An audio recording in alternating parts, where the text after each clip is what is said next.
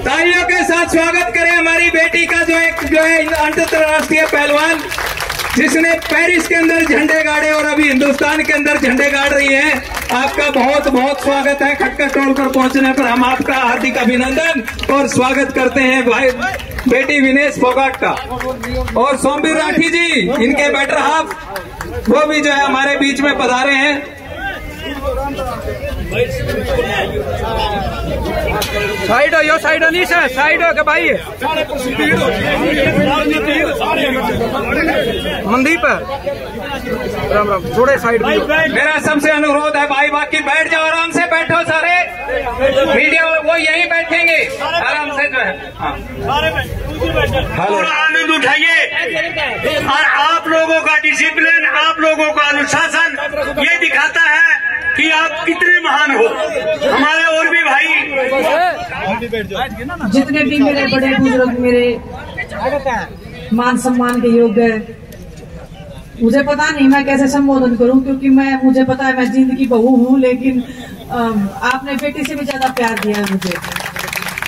तो मैं समझती हूँ कि आपकी बेटी का जो भी आप आशीर्वाद जो दे रहे हो, जो भी आप मान सम्मान दे रहे हो, उसको मैं सिर आँखों पर हमेशा रखूँगी। आपका कर्ज तो मैं नहीं चुका पाऊँगी कभी भी।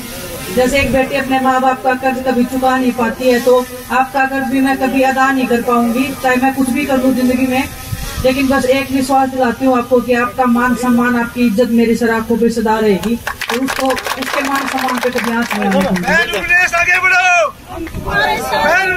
बढ़ो हम तुम्हारे साथ जितने भी हमारे किसान शहीद हुए थे किसान परिवार से मैं खुद आती हूँ तो मुझे बहुत दुख होता है जब भी आप सब लोग आंदोलन में बैठे थे तो बच्चे थे समझ में नहीं आ रहा था लेकिन बहुत दुख होता था।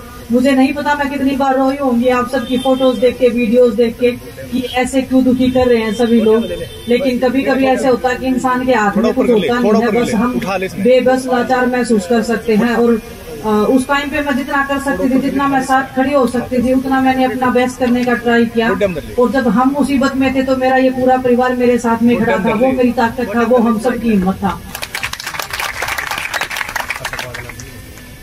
आपका प्यार, आपका सम्मान।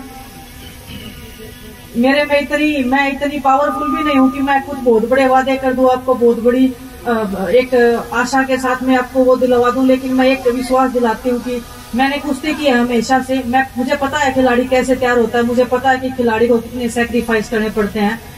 इस जींद की धरती में मुझे पता है बहुत ताकत है बहुत हिम्मत है और बहुत जुझारू और बहुत लड़ाके किस्म के लोग रहते हैं। तो मैं चाहती हूँ कि यहाँ से भी वो खिलाड़ी निकले यहाँ से वो मेडलिस्ट निकले जो ओलंपिक्स में जिसमें मैंने कभी छोड़ दिया। मैं चाहती हूँ कि मेरे आने वाले बहन भाई जितने भी हैं उनको जो भी अ, मेरे से मैं जितना हो सकता है मैं एज ए खिलाड़ी मैं जो सिखा सकती हूँ मुझे कुश्ती आती है। लेकिन खिलाड़ी के तौर पर मैं मानसिक रूप से मैं क्या हेल्प कर सकती हूँ हर एक खेल में उनको मदद कर सकती हूँ।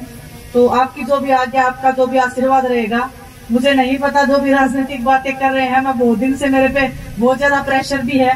प्रेशर भी नहीं बोलूँगी, लेकिन आपकी उम्मीदें हैं मेरे को ऊपर। मुझे पता है कि आपकी जो उम्मीदें, आशाएँ हैं मेरे से बढ़ गई हैं कि आपकी बेटी आपके लिए कुछ करे। लेकिन मैं मानती हूँ कि परमात्मा जो भी मुझे रास्ता दिखाएगा, जो भी आप जो बड़े लोग मुझे बताएँगे तो मैं वो करूँगी और रही एक अ, करने की बात तो वो भी मुझे पता नहीं है कि मैं कर पाऊँगी नहीं कर पाऊँगी। अगर मैं करने पे आती तो इतना भी पता है कि मैं कुछ भी कर सकती हूँ। बस आप सब लोग साथ में खड़े हो जब मैं ओलंपिक्स में जब ये सब हो रहा था, उसके बाद में मैं बहुत दुखी थी। मैं बोल रही थी अपने आप को, ये सबको बोल रही थी कि मेरे से ज़्यादा बदकिस्मत कोई नहीं है। इतना सब होने के बाद में कौन ऐसे किसके साथ में होता है? आज तक पूरे हिस्ट्री में नहीं हुआ है कि ओलंपिक्स में ऐसे किसी खिलाड़ी के साथ में, जब वो फाइनल में पहुँच जाए, उसके पास में मेडल नहीं है। लेकिन जैसे ही मैं अपने देश में आई, आप सबका प्यार देखा तो ये लगा कि वो मेडल तो कुछ भी नहीं था। ये जो प्यार और मान सम्मान के लिए जो जीते मरते हैं, वो आपने जो मुझे दिया है वो हर एक हिंदुस्तान में हर एक खिलाड़ी का हौसला बढ़ाएगा।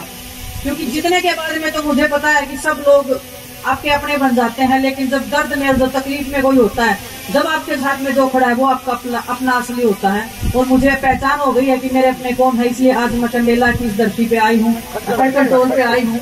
और जितने क्योंकि जब हम आंदोलन कर रहे थे तो यहाँ से जो आंदोलन की जो एक ताकत जो शक्ति हमें महसूस हो रही थी लास्ट ये जब, ये आंदोलन के टाइम पे भी जब हम आए थे तो आप सबकी जो भावनाएँ थी, आपका जो हमारे साथ में समर्थन था, वो देख के हमें जोश मिला था कि नहीं, लड़ाई जारी रखनी है और लड़ाई को आगे बढ़ाना है और अंत तक लेके जाना है। तो आप सबके सहयोग से ये लड़ाई आज भी चल रही है और अभी खत्म नहीं हुई है, ऐसे मत मानना, आप खत्म हो गई है। वो लड़ाई चल रही है और जब तक चलती रहेगी, जब तक हमारे अंदर जान है, जब तक हम अपनी बहनों के लिए लड़ते रहेंगे, मान सम्मान की लड़ाई हम ऐसे ही जारी रखेंगे। जितना भी आपने मान सम्मान दिया है, उसका मैं तहे दिल से आपकी शुक्रगुजार हूँ। और मैं चाहती हूँ कि जितना भी आपने मान सम्मान दिया है, वो मान सम्मान आपका आशीर्वाद मेरे लिए सबसे बड़ा है, उससे बड़ा मेरे लिए कुछ नहीं है। उसी के लिए हम खिलाड़ी जीतते हैं और मरते हैं। जब आपका हाथ हमारे सिर के ऊपर टिका, आप जब टिका देते हो, तब हमें लगता है कि इससे ज़्यादा ताकतवर चीज़ कोई नहीं है।